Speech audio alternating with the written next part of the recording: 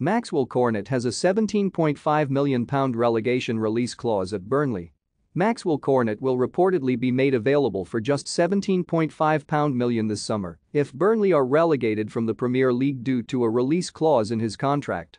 The 25-year-old has been a huge hit for the Clarets since joining the club last August in a club record £15 million move, with the winger putting pen to paper on a four-year deal.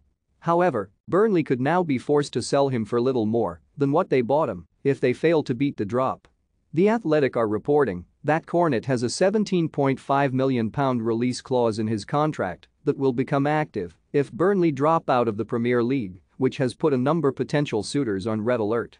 The Turf Moor hierarchy are desperate to keep him, given that the Ivory Coast international is their top scorer this season with 8 goals from 24 Premier League appearances. Mike Jackson's side need just 4 points from their remaining two games to remain in England's top flight but face a battle with Everton and Leeds to stay in the division. Burnley dropped back into the relegation zone on Sunday when they were beaten by Tottenham 1-0 in North London, with Harry Kane scoring a late first-half penalty after an Ashley Barnes handball.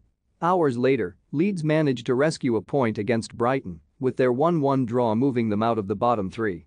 Burnley have a game in hand on Leeds and a superior goal difference, meaning a draw and a win would be enough to secure them Premier League football for another season.